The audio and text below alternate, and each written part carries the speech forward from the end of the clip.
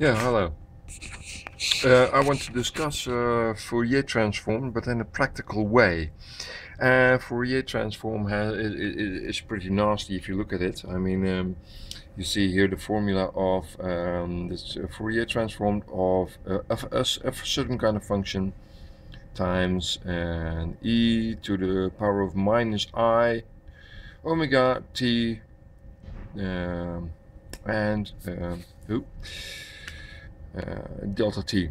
Well, I, I, took some some examples, and I'm going to make it practical because I, I uh, you can all do it theoretically, of course, and there are a lot of websites or YouTube films where you can see the, the theoretical uh, elaboration of it. It's fine with me, but I like to do it practical. And then I'm, I'm going to show you the Excel sheet. sorry. Um, I took three functions as an ex example. ft f1t is 5 times t plus 2. The second function f2t is 2 times the sinus sinus of uh, 2.5 times t. And the third, uh, just to, to make sure it, it works, is uh, function 3t is 3 times the sinus or sinus of 2.5 times t plus a half times the cosinus of 12t. Oops, sorry. Wow. Bracket. Well, basically, it's it's using this uh, approach. Uh, ft times e is uh, to the power of minus i uh, omega t is, and using the Euler formula, which is uh, uh, e to the i w is cosinus um, omega plus i sinus omega. Or if you have a minus, E minus EW is cosinus uh, omega minus E sinus omega. Okay, well, and here it, it, you have uh, ft times cosinus uh, uh omega t uh, times uh, delta t plus minus e, because you have here a minus e also, the integra it's integrated, integrating overall the whole thing, and integrating uh, from minus uh, eternity to infinite and to plus infinite, or whatever kind of range you like. We have ft times the, times the sinus of uh, omega t delta t. And well, you can do this separate in in a, in an Excel sheet, and that's exactly what I did, and that's what we're going to look upon right now.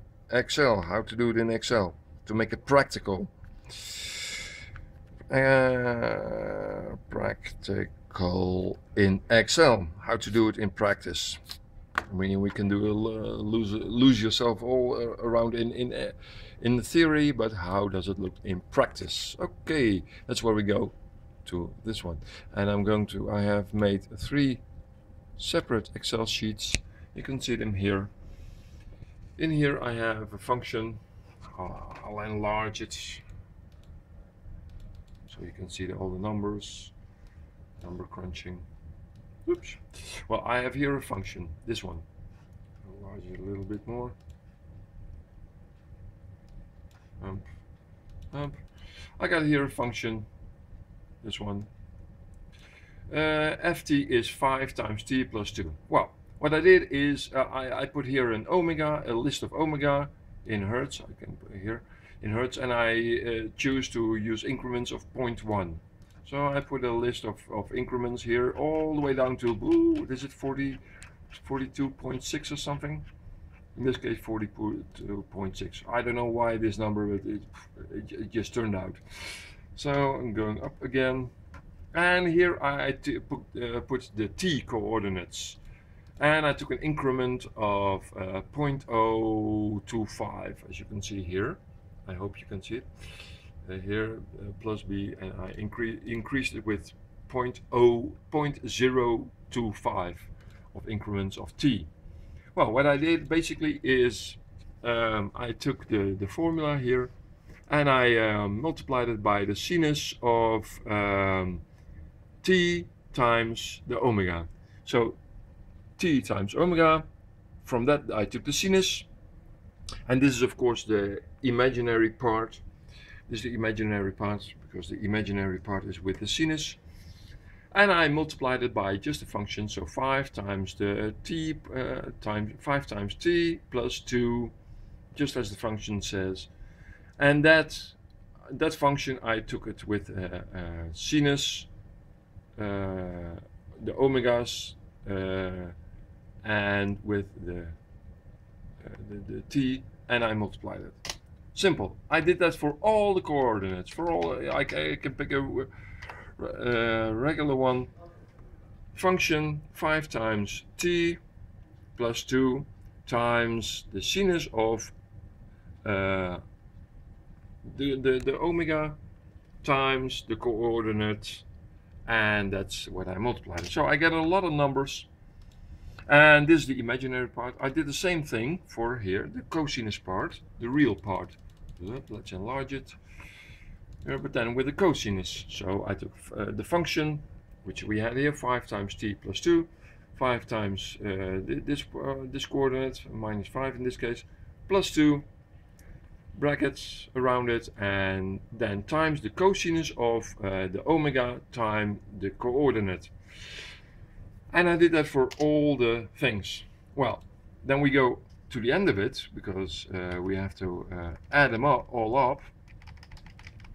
Here again. Uh, you see the, the coordinate the omega uh, part omega in hertz. And what I did is I summed them all up. So what I did is took the sum of all these these uh, things so I, I summed them I, I, I, added them all up here. From the beginning to the end and I took an arbitrary scale t scale from uh, what is it minus 5 minus 5 to uh, plus 4.25 well I summed these all up.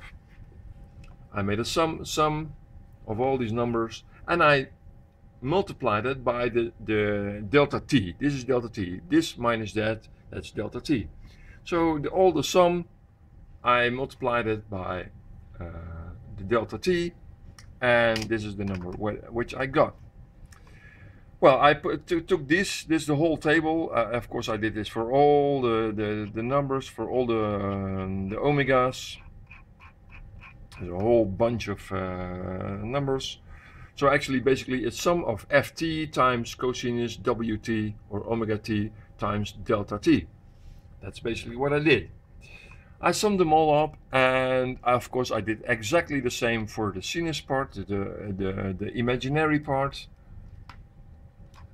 Uh, I got that here.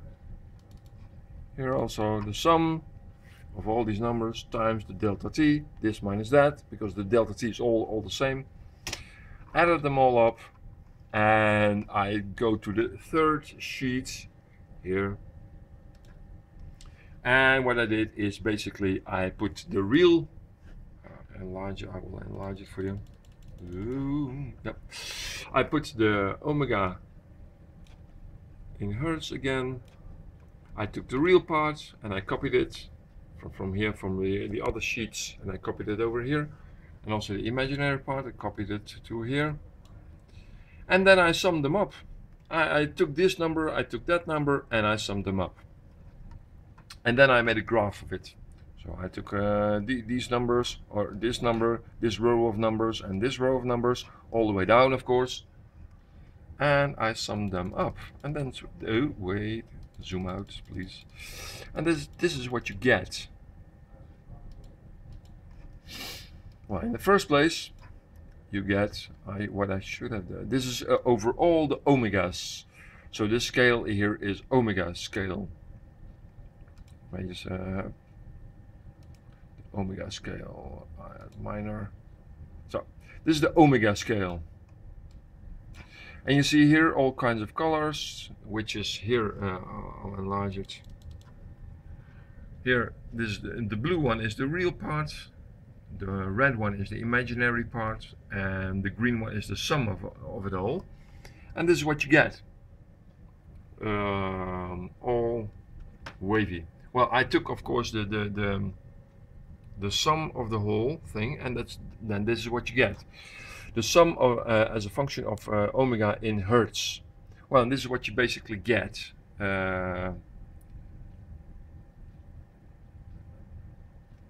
this is the the, the the, the, Fourier transformed function of uh, of this of, of, this function.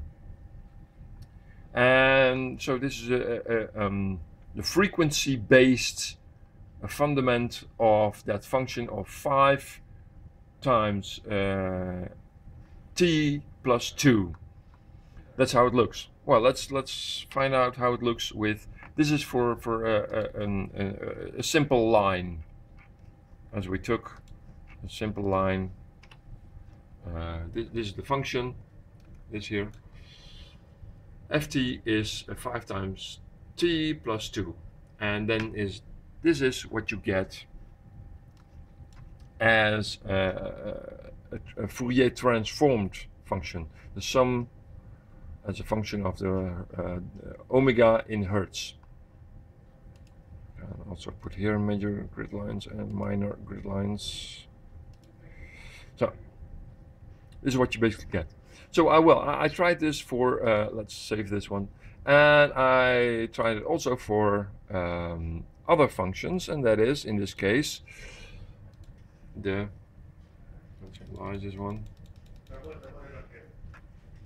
Um,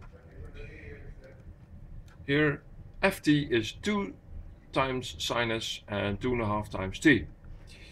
That's the next function. So I did, I, I, replaced the other function with 2 times the sinus of 2.5 times the t coordinate. And I did that for all, uh, all numbers. And multiplied, by the way, uh, sorry, in the real case, in the, the cosinus real part, uh, with the cosinus um, so the, the omega times the uh, t coordinate. I did that for all things. Same for the uh, imaginary uh, stuff, just just as before, just as uh, I did in the, earlier. And uh, with the same function, I took here 2 times sinus, 2.5 times t, and I multiplied it by the sinus, since this is, this is the imaginary part, times the omega, in this case 0.3 omega, times the coordinate, and so on. Exactly the same. Yep, and I added them all up. Again, here I added them all up. I multiplied it by the delta t, which is this minus this, which is for all the numbers the same, so I could subtract this, these and these, uh, and multiply it by the, the sum of all these things, and this is what I got. And in the end, I ended up with this. Ooh. Yep. Yep. Here I took this one, took it from uh, the cosinus sheet. This I took from the sinus sheet, the imaginary sheet, uh, and I added them all up, the two of them, and ending up in a, and I put them in a graph, ending up in, in a graph like this. Ooh. Custom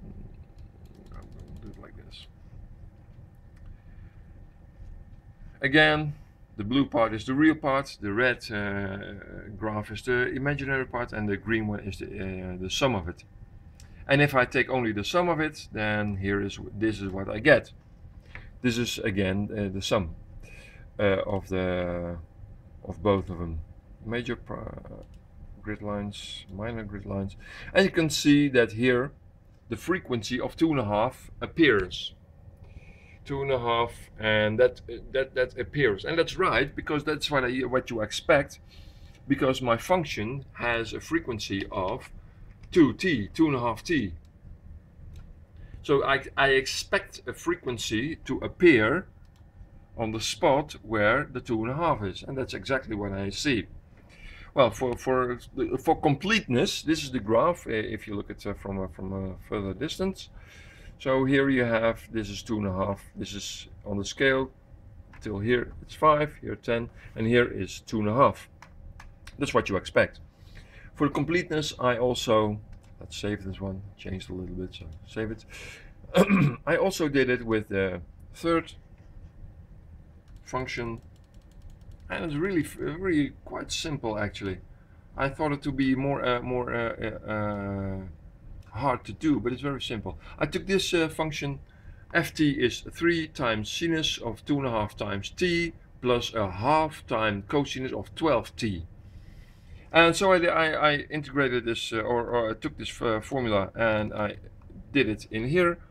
3 times sinus uh, of the sinus of 2.5 times t uh, plus the half times cosinus of 12 times t times the cosinus, since this is the real part, uh, the omega times the coordinate, and I did that for all the numbers and added them all up.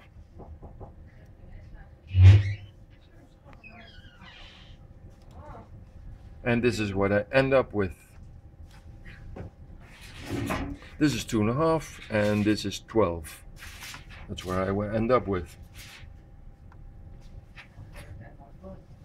So basically it's very simple and this is what I uh, uh, uh, constructed. It's very simple and I thought it was harder to do, but this is the way to do it. Okay.